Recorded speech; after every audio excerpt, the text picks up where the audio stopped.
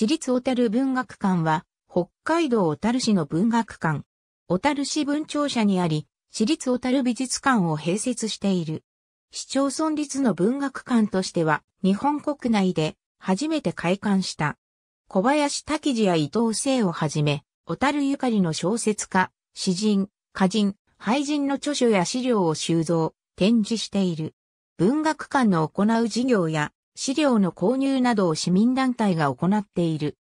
地方の文学館としては珍しく、ミステリー、怪奇文学、幻想文学、児童読み物、漫画、ゲーム、テレビドラマなど、サブカルチャーをテーマとした特別展をしばしば開催する。1979年1980年1981年1982年1983年1984年1985年1986年1987年1988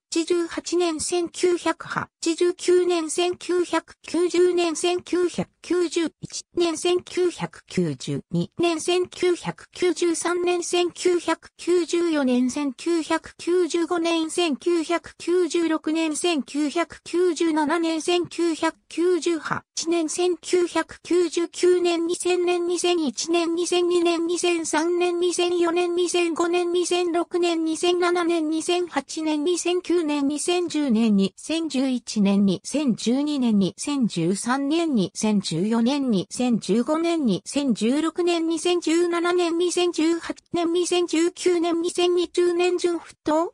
ありがとうございます。